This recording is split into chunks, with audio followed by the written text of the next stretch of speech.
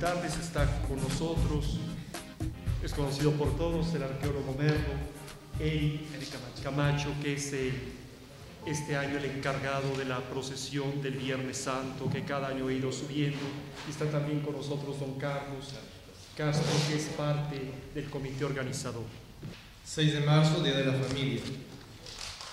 Hoy que en México celebramos el Día de la Familia, queremos recordar las palabras de su Santidad Francisco, que dirigió durante su visita a Tusca Gutiérrez, Chiapas, el encuentro con las familias.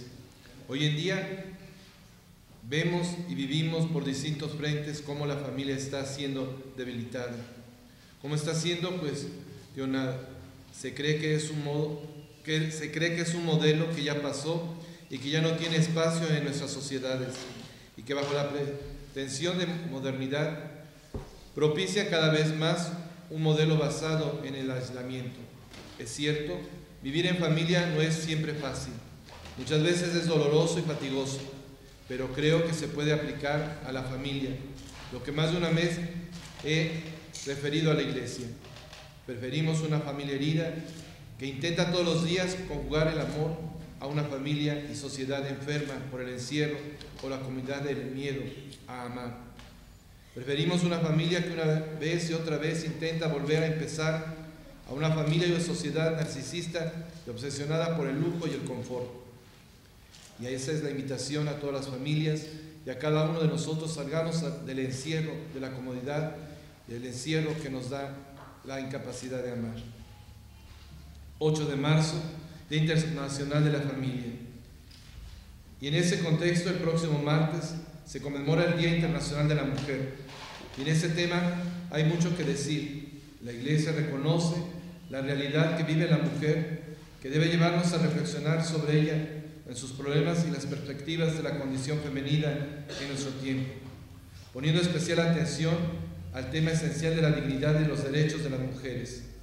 Asimismo, la Iglesia da gracias por el misterio de la mujer y por cada mujer, por lo que constituye la medida eterna de su dignidad femenina, por las maravillas de Dios que en la historia de la humanidad se han realizado en ella y por ella, por sus aportaciones en todos los ámbitos de la vida social, económica, cultural, artística y política, mediante indispensable aportación que da la elaboración de una cultura capaz de conciliar la razón y el sentimiento, a una concepción de la vida siempre abierta al sentido del misterio a la edificación de las estructuras económicas y políticas más ricas de la humanidad. Este año, Dios mediante, celebramos los 25 años de la procesión del Viernes Santo que se inició y les queremos agradecer en nombre de la Iglesia Particular de Puebla, a la Universidad Popular Autónoma del Estado de Puebla, la UPAEP, que inició esto, que se sumaron párrocos en ese tiempo, que estuvo a la cabeza el entonces arzobispo de Puebla, Monseñor Víctor, y que fue un proyecto lanzado por los laicos, y que a esto, esto ha ido creciendo. Y esto nos hace ver la fuerza que tienen en los laicos, es vivir su sacerdocio bautismal. Por eso les dejo a Eric el micrófono, al arqueólogo Merlo, al maestro Carlos Castro, que nos hablen de lo que va a ser la procesión del Viernes Santo, en los boletines que les han repartido está la explicación, pero yo les invitaría a que esta vez lo escucháramos de ellos, su experiencia, ellos que han estado, Eric todavía era muy, muy, muy joven, hace 25 años, pero del arqueólogo Merlo y del maestro Carlos. ¿Con quién empezamos? puede recordar su nombre? Claro que sí, muchas gracias, muy buenos días. Mi nombre es Eric Camacho, soy presidente del comité organizador de la posición de Viernes Santo. Eh, como decía Felipe, gracias por, todo este apoyo. Efectivamente, a mí no me tocó desde los inicios, ¿no? Este, desde el año pasado estoy al frente de, la posición y bueno, eh, ahorita en este, dando a conocer sobre todo eh, como punta de lanza el cartero de la edición número 25 de la posición de Viernes Santo. Desde 1992 se revive la importancia y tradición de nuestra procesión de Viernes Santo en Puebla que además tiene como nombre Siguiendo a Cristo en torno a nuestro pastor. Como verán, en nuestro cartel se pueden visualizar cinco imágenes, las cinco imágenes de procesión, junto con el Cristo de la expiación del templo del Carmen que preside precisamente la procesión. Si ustedes ven de frente el cartel, izquierda derecha, podemos ver a Jesús de las Tres Caídas, de la parroquia de Analco, Nuestra Señora de la Soledad, del Templo de la Soledad, Jesús Nazareno de la parroquia de San José, la Virgen de Dolores del Templo del Carmen y el Señor de las Maravillas del Templo de Santa Mónica. En esta procesión se reúnen más de 100.000 personas aproximadamente y se ha llegado a considerar una de las más importantes de los más importantes actos espirituales y culturales de Puebla, pero sobre todo de nuestro país. La procesión es encabezada por don Víctor Sánchez, así como los párrocos y de los párrocos de los templos, donde salen todas estas imágenes, y también de los grupos participantes. Ahora quiero que la palabra a Leonardo para que nos dé un poquito más de detalles sobre todas estas imágenes. Buenas tardes a todos, un gusto de saludarlos. En 1861, con lujo de violencia, se suspendió la procesión que databa desde pocos años después de la fundación de Puebla. La ciudad de Puebla de Los Ángeles era la segunda de la Nueva España, pero la más rica del virreinato, y sus imágenes procesionales eran extraordinarias, las andas de plata, los candelabros, los ramilletes, eh, los palios, todo lo que tenía que ver con la procesión era fino, elegante, rico, y se había conservado. En 1857 se aplicaron las leyes de reforma que prohibían las manifestaciones religiosas en la calle.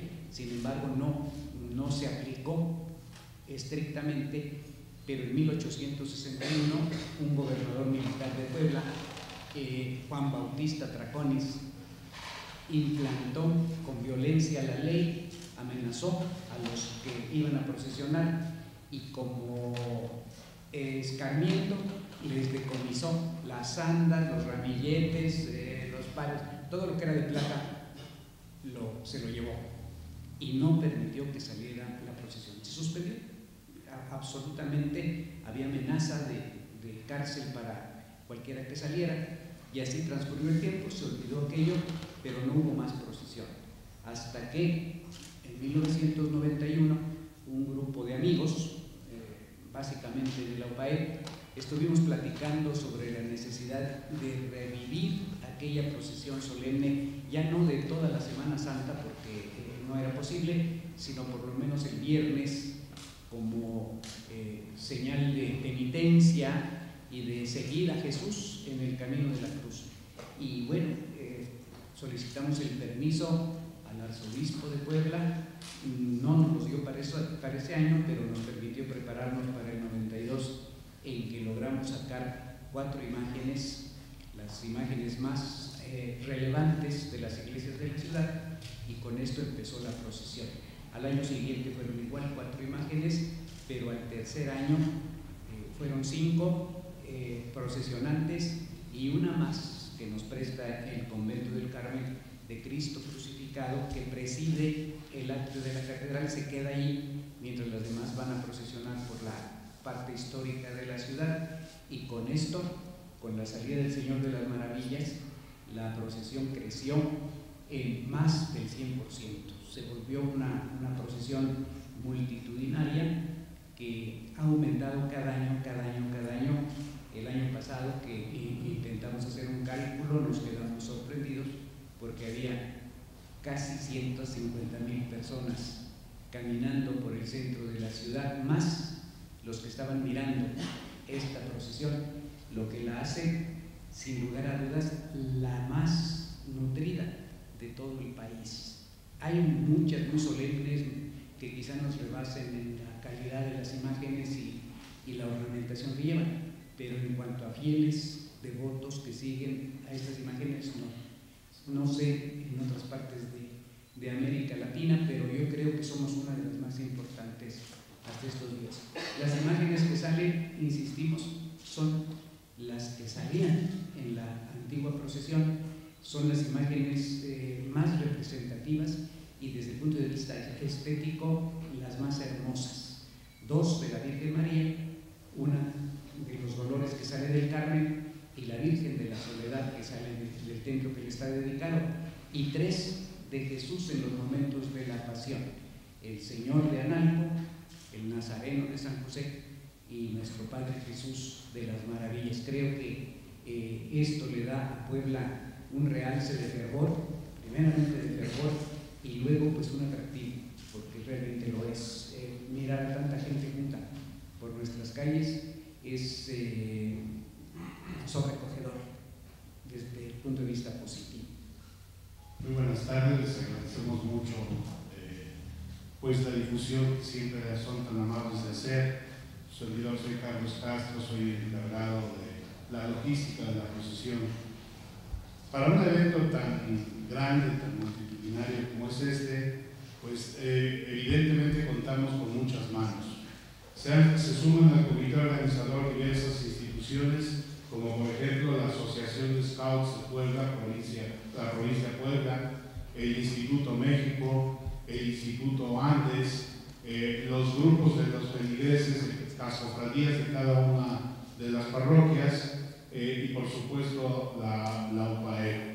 También hemos ya eh, tenido la coordinación con distintas dependencias de, de nuestras autoridades municipales y estatales. Contamos ya con la participación y la coordinación con seguridad pública, con vialidad, con protección civil, con la Secretaría de Gobernación, eh, con eh, parques y jardines, con el Servicio de Limpia, con la Secretaría de Turismo, en fin, con los bomberos, en fin, con distintas instancias que están involucradas para apoyar esta procesión. La procesión, eh, como ustedes saben, empieza propiamente cuando las imágenes salen de sus templos respectivos. Eso sucede entre las 9 y las 10 de la mañana, dependiendo de la distancia de cada uno de estos templos, ¿verdad? Eh, estas imágenes tienen que eh, ser llevadas hasta catedral, lugar en donde nos reunimos. Eh, calculamos que entre las 11 y las 12 están llegando las imágenes a catedral para que en punto de las 12 se inicie la procesión con el primer acto.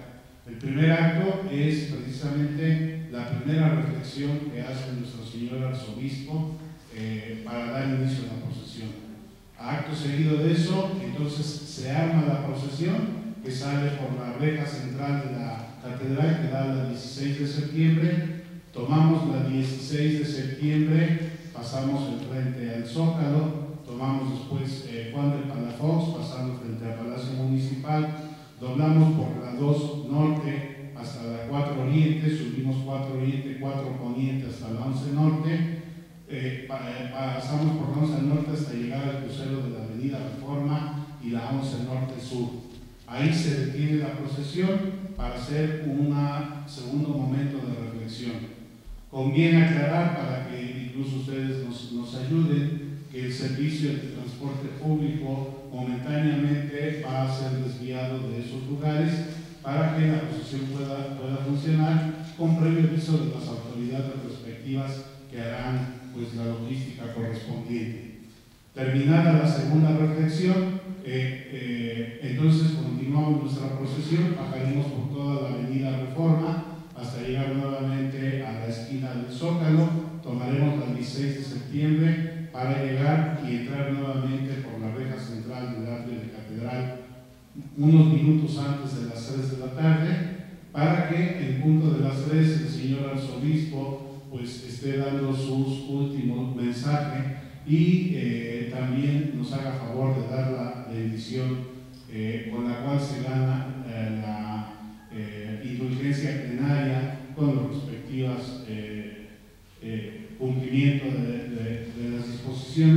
para aquellos que hayan logrado, hayan participado en la procesión. Déjenme comentarles algunos pues, datos este, que son curiosos, ¿no? Por ejemplo, ustedes saben que la gran mayoría de la gente no es la que está adentro del atrio de catedral. Adentro del atrio de catedral solo llegan las distintas cofradías y grupos eh, que acompañan a las imágenes. La demás gente espera en las calles el paso y se suma al paso de la procesión. Bueno, cuando, cuando arrancamos la procesión, normalmente tardamos entre 20 minutos y media hora en que se vacíe eh, el atrio para que salgan con orden y se incorporen a la procesión. Otro dato curioso, cuando apenas estamos saliendo por el zócalo, o sea, la parte final de la procesión está pasando por el zócalo, la parte de adelante ya llegó a, Guadalupe, como para que nos demos una idea del tamaño la. Cuando inicia la segunda eh, reflexión del señor arzobispo en el crucero de Guadalupe, eh, todavía la procesión va por la cuatro poniente. En realidad hay mucha gente, muchísima gente que no logra llegar a, a ese espacio porque además físicamente realmente sería, sería imposible. ¿no? Entonces hay una gran cantidad de gente que asiste. Lo que es de destacar, muy importante, es que a lo largo de estos 25 años nunca se ha tenido un problema mayor en la procesión. Verdaderamente nunca ha sido, como dicen, salvo blanco siempre.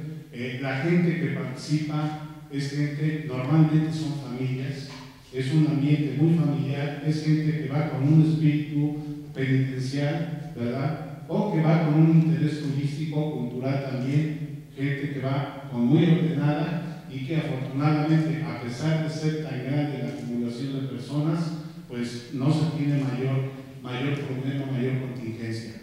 Normalmente las contingencias son pues de personas con insolación, personas que no tomado su medicina, que están guardando el ayuno y con la isolación, pues, este, pues la edad del sol tienen algún problema, pero eh, por supuesto que también estamos en contacto con los servicios médicos ¿verdad? de la ciudad y además también participan algunos servicios médicos particulares que apoyan a la procesión. Entonces es, es un ambiente sumamente sano, ¿verdad? Muy seguro lo que se ha presentado hasta este momento y que nos permite vivir el espíritu de la procesión. Muchas gracias. El señor arzobispo agradece a todos los párrocos, los sacerdotes, nuestros hermanos laicos que estuvieron al frente de la jornada de oración, de adoración, de confesiones, de Eucaristía, lo que el Santo Padre invitó, 24 horas para el Señor.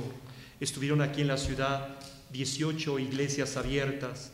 El señor arzobispo estuvo presente en tres, en la medalla en el cielo, en Huechotitla, aquí en la Conchita, aquí el templo expiatorio. Él me comentaba ayer por teléfono en la noche que para él fue una impresión muy buena. Él prácticamente dedicó 12 horas al confesionario entre el jueves y el viernes. Y los obispos auxiliares también nos repartimos. El señor Medel, conocen este arzobispo emérito de Durango, también a sus ochenta y tantos años fue a sentarse al confesionario el viernes de 4 a 8 de la tarde. El agradecimiento del señor arzobispo a todos los sacerdotes. Hubo templos donde estuvieron las confesiones las 24 horas. Pienso, por ejemplo, en el templo de Huechotitla, que los sacerdotes estuvieron las 24 horas para oír en confesión. En el templo de San Felipe, Hueyotlipa, allí estaban también las 24 horas a todos los sacerdotes, a los laicos que estuvieron también apoyando esto, mil gracias.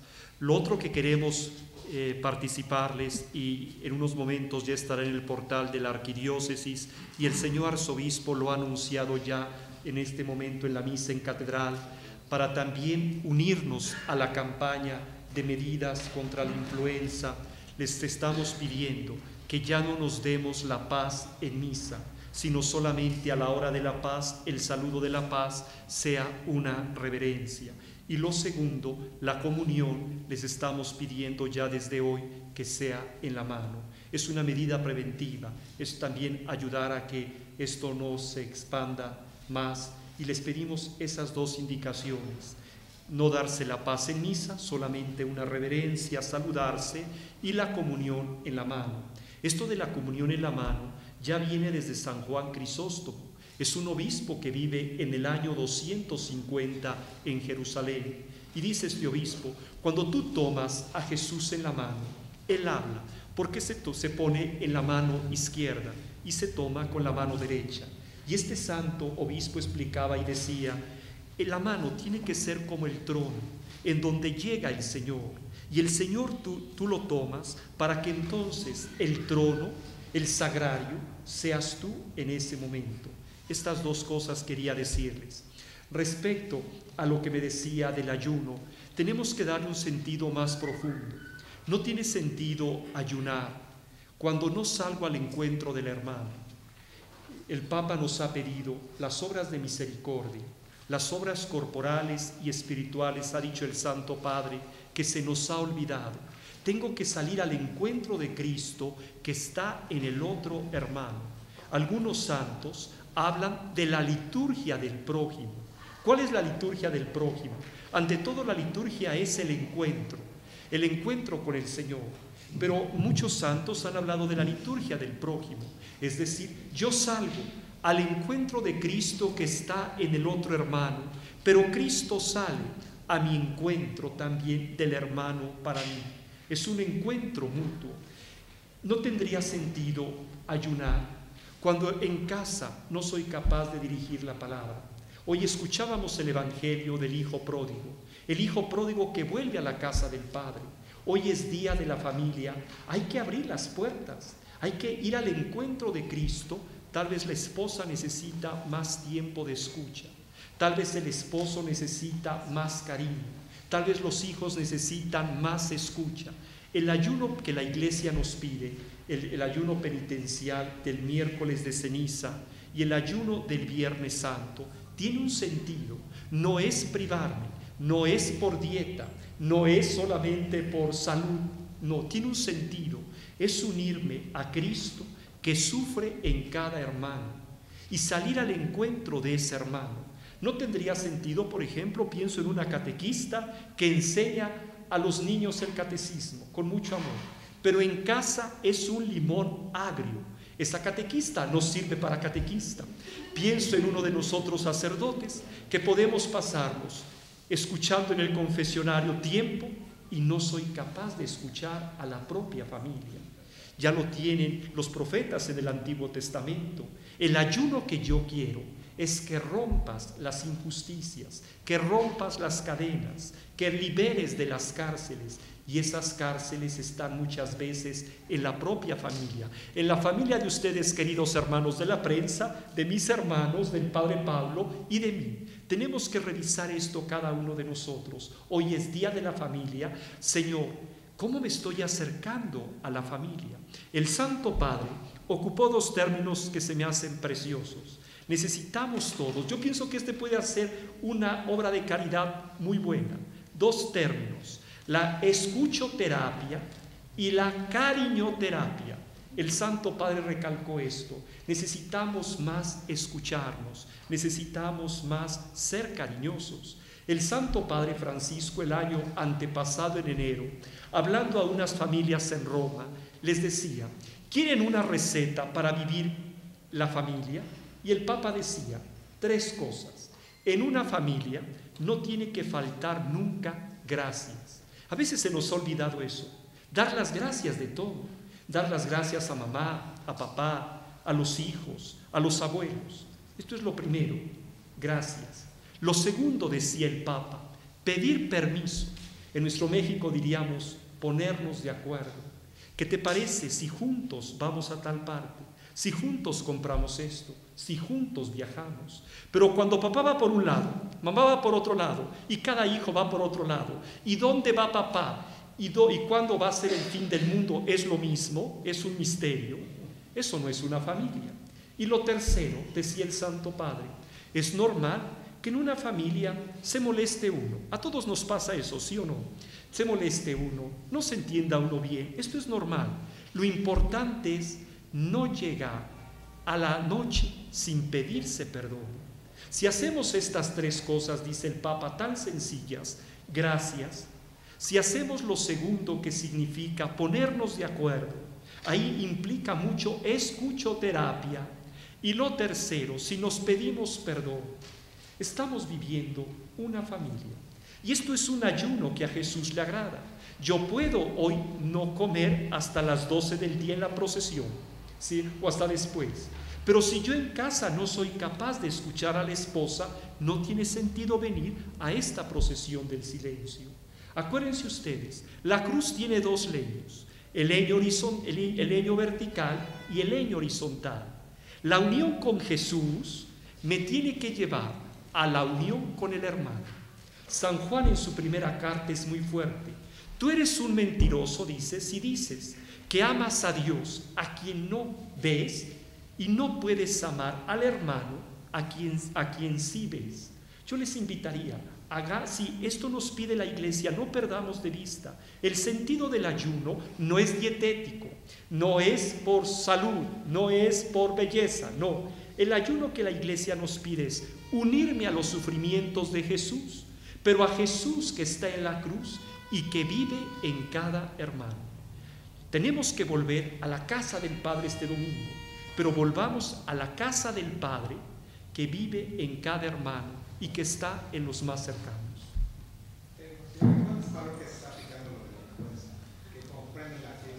El señor arzobispo ha pedido en toda la arquidiócesis, toda la arquidiócesis, estamos hablando de 283 parroquias. Con los templos son unos 1200. Empezamos esta campaña a partir de hoy. Eh, códicos, la oficina de prensa del arzobispado se encargará de llegar estas indicaciones a todas las parroquias. El señor arzobispo ya lo ha iniciado hace unos momentos en la misa en la catedral. Ya pidió no darse la paz y ya eh, solamente darse la paz con un gesto de una reverencia y la comunión en la mano.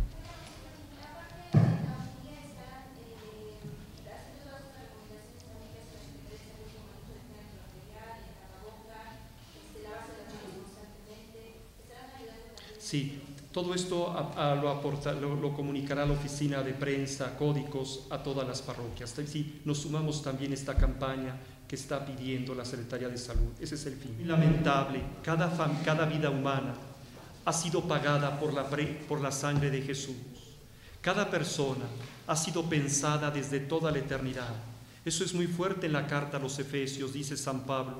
Ustedes fueron escogidos desde antes de la creación del mundo no es casualidad cada vida humana que viene al planeta.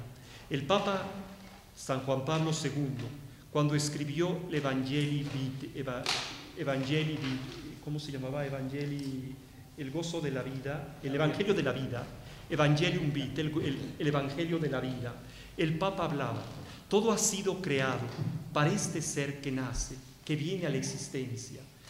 El coro de los ángeles del nacimiento de Jesús les anuncio una gran alegría. Nos ha nacido un Salvador. San Juan Pablo II hablaba ya de eso. Es la misma alegría por cada ser humano que viene al planeta. Nadie tiene derecho a quitar la vida. Nadie tiene derecho a quitar la vida a ninguno. Lamentamos eso, pero esto nos tiene que hacer pensar qué es lo que estamos haciendo como sociedad. Sí, nos podemos preguntar las mismas frases del Génesis lo que el Señor le pregunta a Caín, ¿dónde está tu hermano? Y tenemos que preguntarnos, ¿dónde está el hermano? Y esto nos tiene que llevar a pensar, ¿qué estamos haciendo cada uno de nosotros? Cada uno de nosotros está llamado a transformar, a mejorar. ¿Qué tenemos que hacer? La iglesia está abierta a acoger a todos. Hoy que el próximo martes que vamos a celebrar, es el martes el día de la de la mujer el próximo martes. Hoy en día la violencia no es solo contra la mujer. Lo vemos en los colegios con el bullying, en las calles. La violencia es verbal, física, psicológica, sin importar el género. Más bien, creo que debemos esforzarnos todos por generar ambientes de armonía, de comunicación y paz, empezando por cada uno de nosotros, porque el cambio empieza por uno. Cada uno tiene que cambiar, cada uno tiene que mejorar, cada uno tiene que hacer la parte que le toca, al gobierno, a las autoridades, a los diputados, a nosotros como iglesia, a cada uno en familia. Queremos cambiar, tenemos que cada uno hacer el cambio empieza por cada uno de nosotros. Y para eso es la cuaresma. El Papa eso nos ha pedido. Necesitamos salir al encuentro de Cristo, practicar las obras de misericordia. Alguien puede decir, pero esto es muy pequeño, pero eso pequeño va abonando al cambio. Muchísimas gracias, buen domingo a todos.